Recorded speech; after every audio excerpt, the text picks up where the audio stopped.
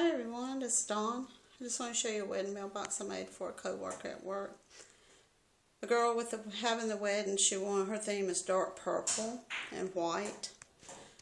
So she wanted rhinestones, lace, their names on it, and I just added a few more things to it. So basically what I did is I, I purchased a galvanized mailbox from Walmart. My husband spray painted it white. Um, these flowers are purple for some reason. They're showing up as, I don't know if you can see any of them as purple. They're showing up as blue on the camera, but it's purple.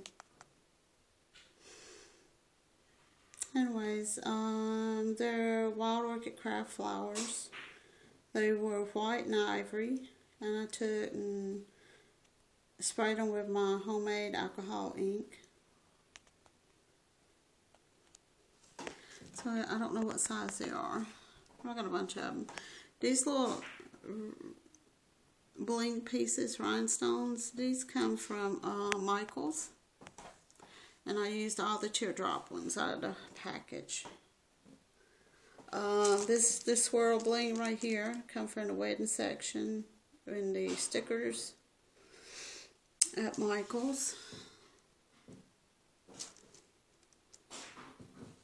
Um, these right here also come from Michael's. And these sprigs, I took and pulled them apart. They come from the wedding section at Michael's. Um, I took a purple Sharpie and streaked the flag. It was red. And then I took some of that finished glitter spray and I sprayed it. So when the flag, it does work, but as you're moving it, um, it scrapes the paint. So I, I glued this on to hide that. So when you up, let it up and down, it doesn't, uh, you can't see the red. And sorry about my hands. They still got that ink. There's a lot of these little cobwebs. I gotta get these off of here. And then I took and put this little piece of bling right here. I think it's gonna pop off. I'm gonna have to redo it. Okay, I'll fix that one. Um, this this um roll of bling right here. It was a lighter purple, and I took a purple sharpie and made it darker purple. Then this white lace comes from Hancock Fabrics along with the purple lace. So I, hot glued the purple lace, then the white over top, and then the bling.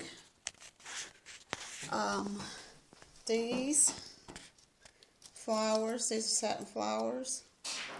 And these flower sprigs come from the wedding section. This bling, this bling is a Christmas and I just cut pieces off of it. It was really cheap. So that's that. This is the back of the box. These the same stuff. The satin sprig, wild orchid craft flower roses.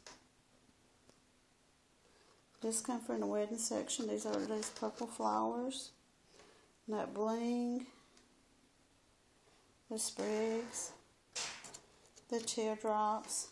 And I went around the whole mailbox with the lace. Then I cut the um, the bling in half. And if I don't know if you can tell it, but I went up and over the mailbox.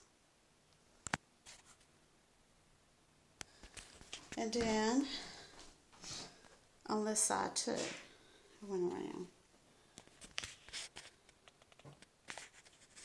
And I use these purple flowers up here. Put your name on here, Nicholas and Monique.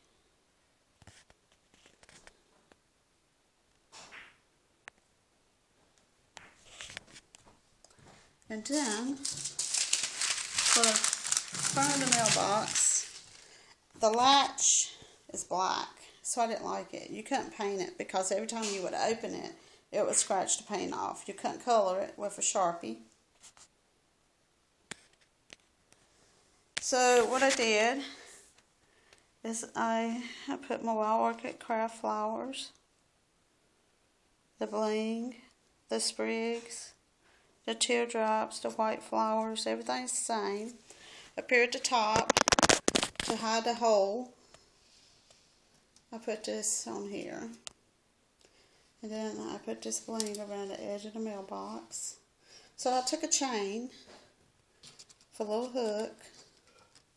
Don't know if you can see it. And that's it. You just move it out of the way.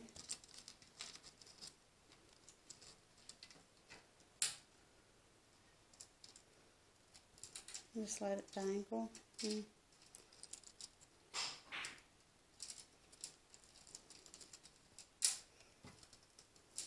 There you go. Let it dangle like that. I hot glued the chain down. These right here come out of um, some kind of table scape. They're purple. So I covered up the two holes with that. This up here covered up the two holes on top. And then you open the mailbox. And I even colored that little piece. So that is a wedding mailbox. And all I have left to do is put my stamp on the bottom. And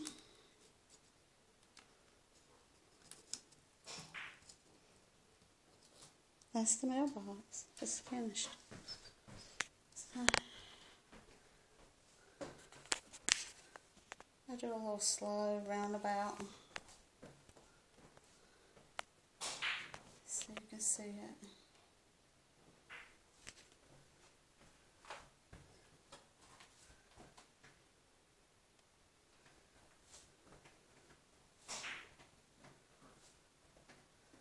I'm not making anybody dizzy.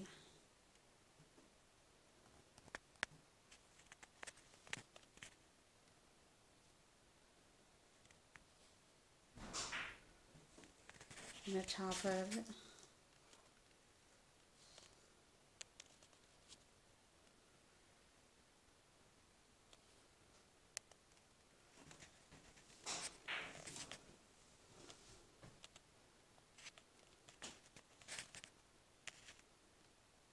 I hope they like it. Uh, thanks for watching. Bye.